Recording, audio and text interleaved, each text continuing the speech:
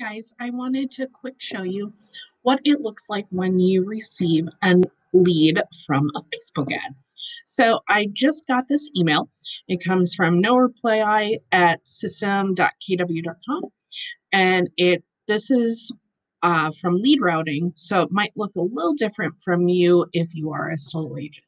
However, for the this purposes, I'm going to claim it. Otherwise, you would have an email that says you have a new lead. So then you go into command. And because I'm on a team, I'm claiming this lead. If you are not on a team, what you'll want to do is open up the lead and then simply click on add to smart plan. And because I already have my Facebook smart plan created, all I have to do is click select and click confirm that I want to start it right away and confirm again.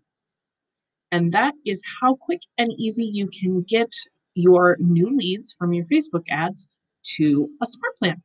Have a great day, guys.